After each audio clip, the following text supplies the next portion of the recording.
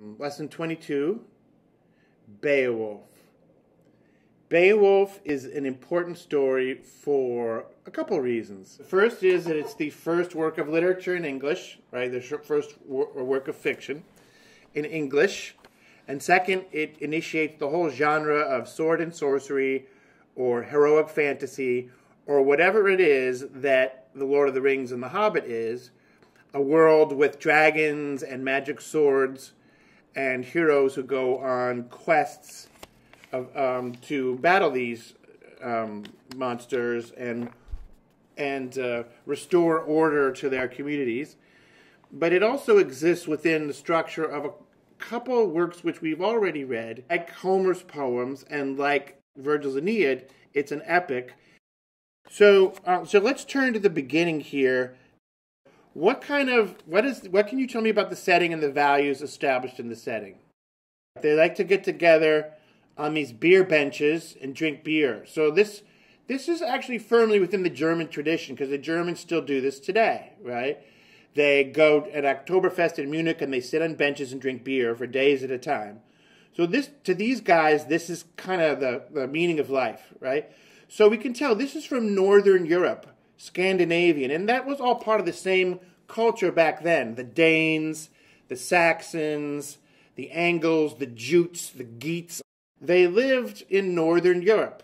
So they never really came in contact with Greece and Rome. They were never conquered by Greece or Rome or Alexander. So as we mentioned a couple lectures ago, they're in a different world. So getting uh, drunk and telling stories with your friends in the in it was one value. What's another value? Treasure is a big value. Bravery is a big value. Bravery in war and poetry. I said, In that hall, a skilled poet plucked clear notes on a harp and sang of man's beginnings, and of how God girdled the earth with waters, and set the sun and moon as lamps for men, and carpeted the world with green leaves, and quickened life in every moving thing. Now, that's a very poetic passage, kind of stuck in the middle of the beginning of this adventure story and it, you can see the author's attention kind of sloughing off in that direction. And what that reminded me of was kind of the book of Genesis and the creation of the world, and God girdled the earth with waters. It's almost like if you read those first lines of the book of Genesis, the Bible. And then I noticed a couple other things from the book of Genesis here, at the beginning of the Genesis, as it were, of this story, the beginning of this story. The first one actually is when Hrothgar turns his mind to castle building emphasize a couple times the height of this castle, which reminded me of the Tower of Babel. Does anyone know that story of the Tower of Babel from the Bible? Also called the Tower of Babel sometimes. A bunch of people at this place called Babel, they decided to build a tower. They said, We're going to be as great as the gods. Let's build a tower to heaven. So they build a tower that's so high that you can't even see the top of it. Sort of like Jack and the Beanstalk or anything else. But they bring together all these people from all these different nations and they have all these different languages, which is why the place was called Babel, I guess, because no one could understand each other. Then um, I guess God got jealous, sort of like Zeus got jealous, or God got angry and he destroyed the tower. So that's I thought that was interesting, especially when they say far and wide through the world I have heard many peoples received order orders for, for work to adorn that castle, implied that people of many different languages were also building um, Hrothgar's castle as they were building the Tower of Babel. And then uh, a, a third thing from the book of Genesis was the reference to Cain and Abel. Who can tell me about Cain and Abel? Well, what happened was they both made offerings to the Lord, and the Lord preferred uh, Abel's offerings. So Cain killed his brother because he was jealous, because God liked his offering and his sacrifices better. And so he killed his brother through envy. And that actually come, is, suits this because it suits the story because the author tells us that this demon Grendel lived for a time in misery among the banished monsters, Cain's clan, whom God had outlawed and condemned as outcasts. For killing his brother Abel, God made Cain anathema, and from the curse of Cain's exile sprang ogres and elves and evil phantoms and giants who fight God. So, what this is saying, it's giving a whole kind of uh, mythology or demonology or uh, genealogy of monsters. the text is saying all these monsters are descended from like Cain and Abel, this evil brood, ogres and elves and evil phantoms. So all those creatures like orcs from the Lord of the Rings. And basically, according to this monsterology, um, all that comes from Cain and Abel. So the original sin of these monsters is envy. Kind of like the original sin of regular, ordinary mortals is curiosity. So I find that interesting because envy will operate in the story, as we see, as a motive for the bad people. All right? All right, so now let's move into section uh, 2, numbered section 2. Where here, when they're describing Grendel, I was reminded of the Cyclops. Did Was anyone else reminded of the Cyclops by Grendel in any way? One way in which Grendel reminded me of the Cyclops was that Grendel's clearly not a political animal and lives off away from ordinary civilization. And there's a couple, there's a few little tells there where they, they, they, they say that. They say, Grendel ruled in defiance of right, one against many. So, solitary. Grendel would neither negotiate nor make peace with any Dane, nor stop his death dealing, nor accept any bribe. So he's outside the ordinary structure of law. And as we go on, we'll see more references to that. Then Hrothgar himself, though, is portrayed as rather weak. He sits stricken and helpless, humiliated by what's going on because he can't stop this monster. And then onto this scene, into this vacuum, strides who? Beowulf. And how can you tell that Beowulf is the hero? He's going beyond the call of duty. He's doing something that he doesn't have, have to do, but which is excellent. So, and also he is a man with a plan. Literally, it says he announced his plan. So, like Odysseus, he's a man with a plan. And what else about him? Oh, also we notice. Remember when we were, when we were reading Tacitus a few days ago, and he Tacitus was describing the Germans and how when they didn't have wars, they would go off in other places to fight wars to kind of get their skills up and get their reputation, and then they would stay there and have banquets, and the, the host lord would give them horses and weapons and stuff. Well, that's really exactly what happens in this story. Beowulf is following that script, um, which Tacitus observed. That, so hundreds of years later, the Germans are still behaving this way because, as I say, the Germans and the Danes are both these Norman people from northern people from a similar culture.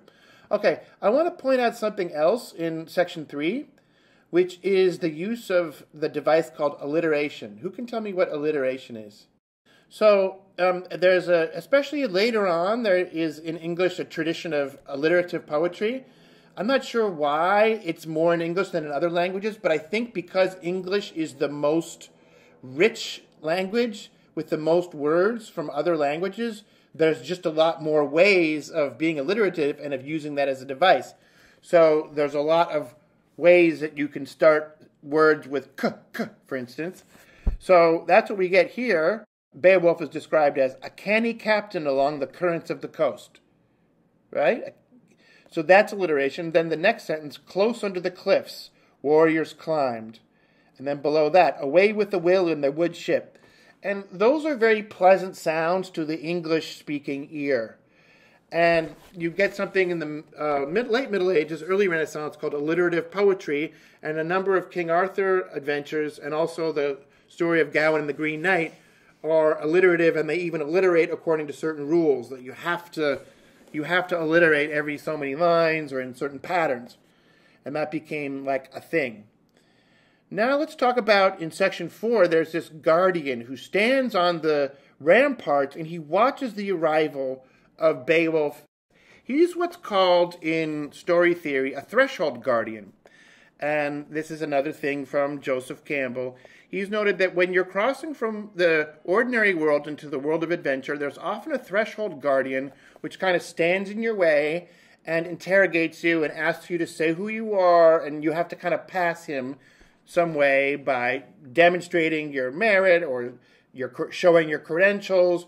In other words, you don't just waltz in. There's always some kind of temple guardian. So, for instance, in China, the temples have these dragons in stone that are set outside the temple, kind of to keep evil spirits out, or the wrong spirits out, or the spirits that don't belong there. In Gothic cathedrals in Christendom, you will see gargoyles up on the ramparts Same idea, threshold guardians, separating the sacred space or the special space from the ordinary space. So in this case, the guardian at the border between the ordinary space and the special space of the adventure is this um, watchman. And he says, uh, you know, you got to tell me about yourself. Who do you think you are coming in here? And like that. And if we notice, if you read the whole Odyssey and the whole Iliad and the whole Aeneid, there's a number of these threshold guardians that the heroes have to um, submit to questioning by very often. So, in other words, when Odysseus gets to a new island, the people will say, Who are you? Tell us who you are, what country you come from, what is your business, right? So, that's a standard story structure, um, a standard story motif in epic, especially. Okay, so um, let's go on. We know that Beowulf is pretty special because it says that he has the strength of 30 men in the grip of each hand. So that's a unusual thing.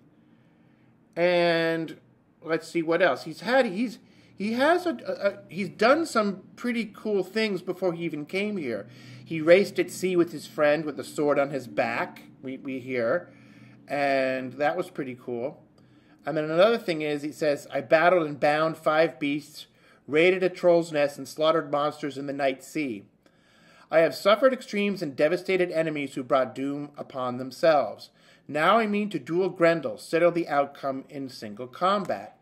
And here we get this idea of single combat with certain rules of fairness, which anticipates or is drawn from the ideal of chivalry. What's chivalry? Can anyone tell me that?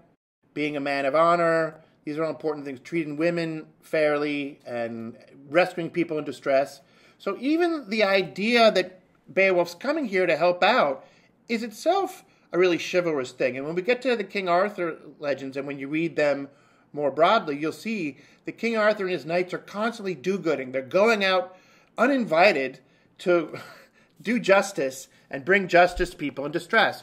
So the cardinal case of that would be, oh, um, evil ogre has kidnapped a woman and put her up in a tower, right? And so Lancelot or some other knight will have to go and rescue this, rescue what's called this damsel in distress. A damsel is a, a word for a maiden, okay? So this is key to the genre, and it's uh, also was a big part of the code of chivalry, rescuing people in distress, but also how you fight. So he says, um, because uh, Beowulf says, because he's heard that the monster scorns in his reckless way to use weapons, I hereby renounce the sword and the shelter of the broad shield, hand to hand, a life and death fight with the fiend. Whichever one of us dies must deem it God's just judgment.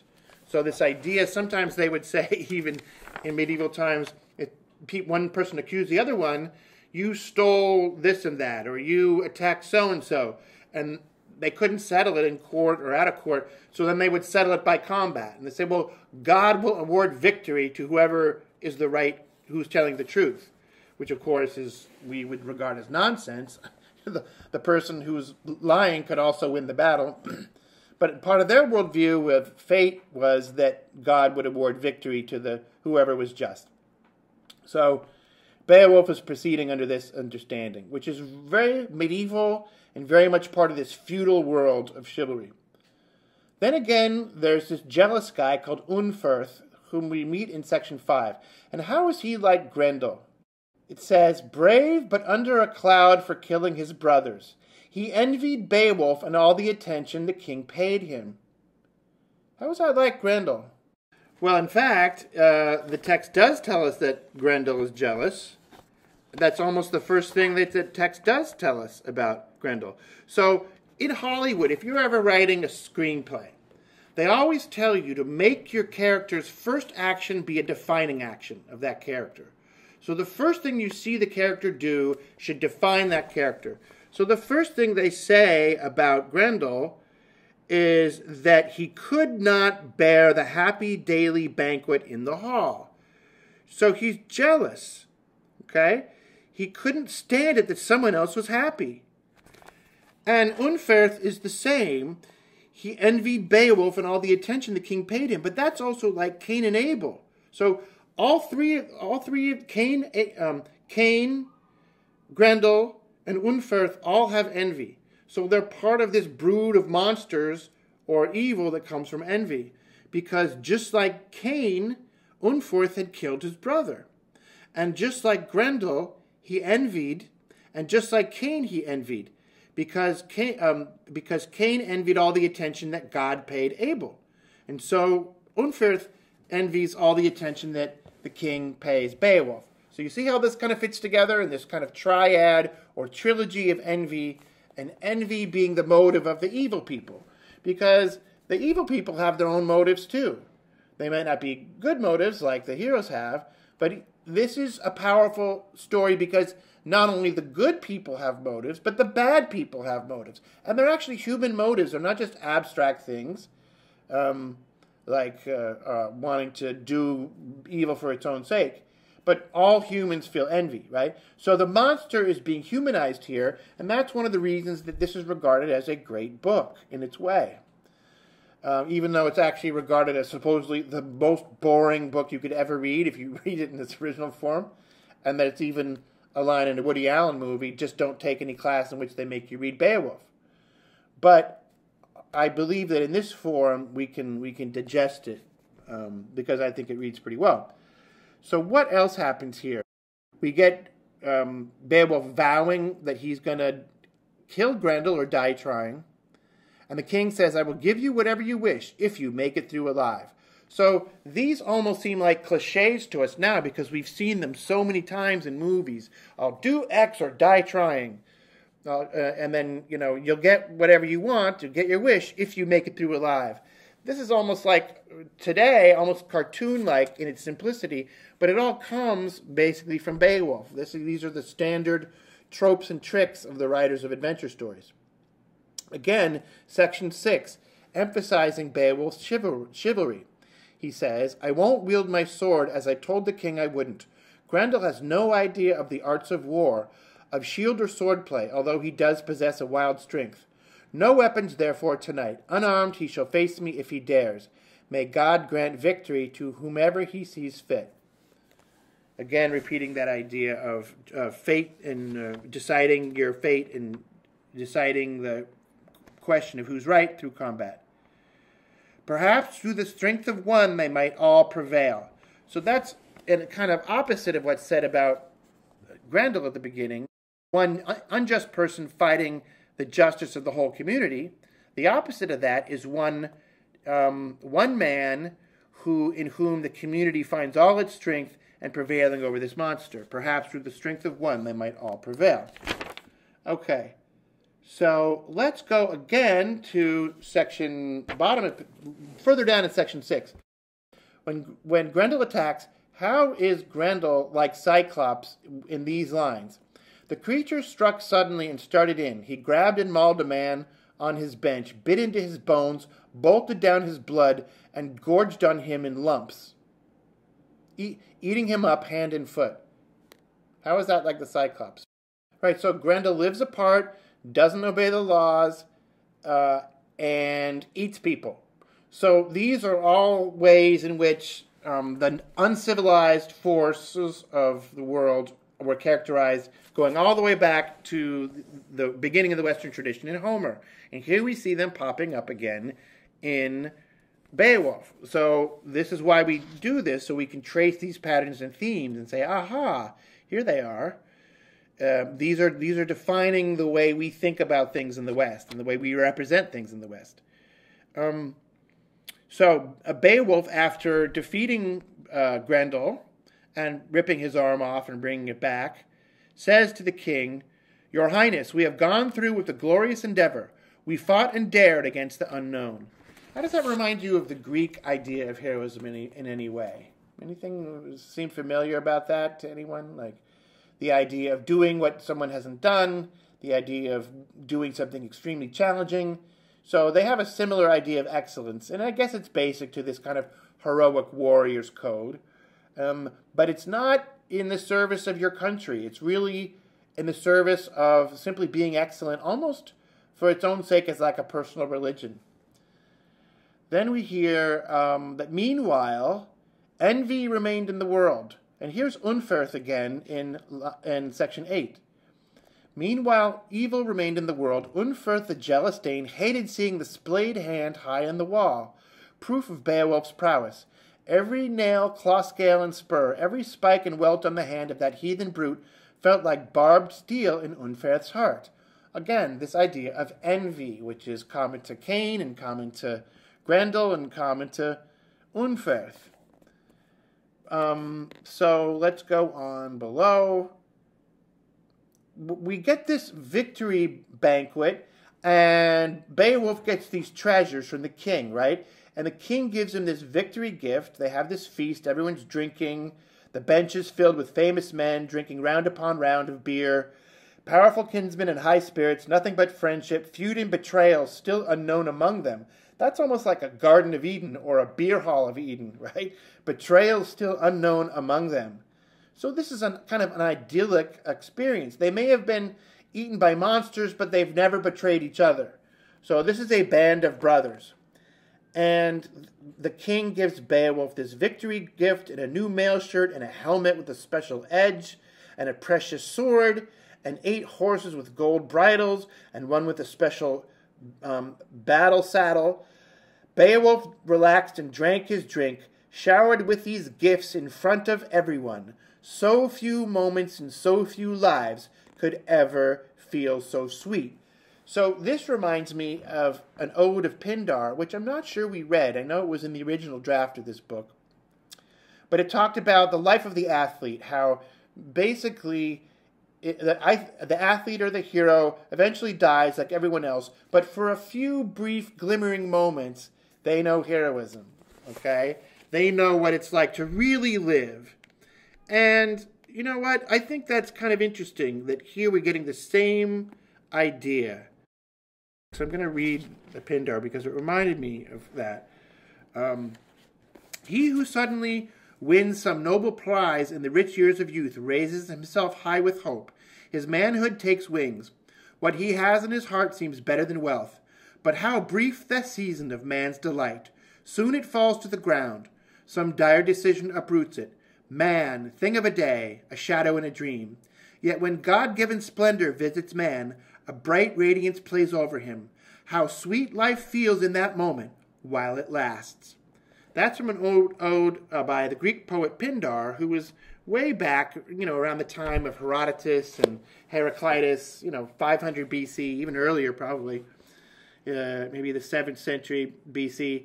But that tone of how sweet that moment of life is while it lasts, that life of the hero, reminded me of what the author of Beowulf says so few moments and so few lives could ever feel so sweet.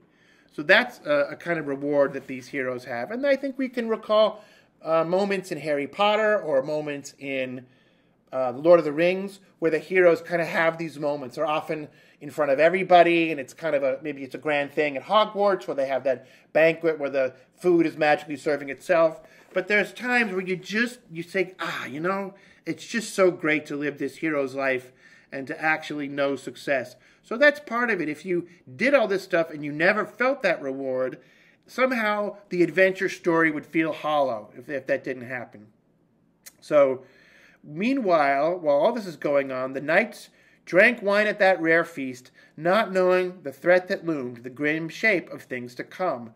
So there's this sense of doom in, in these in these um, heroic works that yes, you can have these moments, but fate is always around the corner. Death is always around the corner. A monster or some kind of evil, something is always around the corner. And in this case, it's yet another instantiation of the Cyclops. In this case, it's Grendel's mother. She's described as an unnatural birth, and she as she looks like a woman, okay, um, but but like her son, she's one of these fatherless creatures, their whole ancestry hidden in a past of demons and ghosts. They dwell apart among wolves on the hills, on windswept crags, where cold streams pour down the mountain and disappear under mist. So I'd been reading today, I'd been reading back about the Cyclops, and they also dwell among these caves on windswept crags. So I wouldn't say that the author of Beowulf copied um, the Cyclops story from Homer, but there's a lot that's similar there. Okay, so we get another thing that's a first, a kind of Greek first. No man has ever seen the bottom of the bog. So Beowulf will be the first man to see the bottom of this bog, to go where to, go, to boldly go where no man has gone before. He's going to dive into this bog or swamp and see the bottom of it. Now help depends again on you and you alone. The gap of danger where the demon waits. Seek it if you dare. That is a, an extremely uh, succinct summary of the heroic ethos. Then there again there's this line that describes the hero's kind of existence and the code by which the hero lives. For every one of us, living in this world means waiting for our end. Let whoever can win glory before death. When a warrior dies, gone, his glory becomes his best and only battlement. So that's again this idea. It kind of goes back to Hector in the in the Iliad, and Achilles in the Iliad of the warrior getting immortality through the glory he wins in battles. Um, so then we get this kind of intense scene where where we have Beowulf fighting Grendel's mother uh, by diving under the surface of this water and emerging in this cavern. And while he goes on this adventure, we get a, another first in this story. And that's the first appearance, as far as I can tell, of a named sword, which becomes a big part of these stories the king handed him a hilted weapon, a rare and ancient sword named Hrunting. The iron blade, with its ill boding patterns tempered in blood, had never failed in battle. And then Beowulf says, showing he's a true hero, If this combat kills me, please take care of my knights, my comrades in arms. Now with Hrunting, I shall gain glory or die. So even as he goes off to face what seems like a likely death, He's not thinking about himself, he's thinking about his friends and asking the king to take care of them if and when Beowulf does not return. So that shows the largeness of spirit. Beowulf is a great souled man. So he goes down and he has this battle, which is quite fantastic. And there's some really cool stuff, like when he uh, shoots uh, an arrow at these monsters in the water. All kinds of reptiles infested the water. On slopes by the cliff, on slopes by the cliff, writhed sea dragons and monsters, serpents and wild things. Beowulf shot an arrow from his bow and hit one of the creatures as it surged on the surface, the shaft sticking deep in its flank. In the shallows, the Geats cornered and overwhelmed it, prodding it with barbed spears, pulling it up on the bank, gazing at their loathsome catch in awe. So meanwhile, so meanwhile, Beowulf goes down, and this magic sword actually fails him, so he has to do it all on his own right? So it says, Beowulf flung away his sword. He would have to rely on the might of his arm. So must a man do who intends to gain enduring glory in combat. So what happens is that he emerges in this cavern and he has this wrestling match with Grendel's mother. And while he's down there, he sees another sword on the wall of this cave, which I have to say is, is quite convenient for him but it's so heavy that only Beowulf can wield it in battle.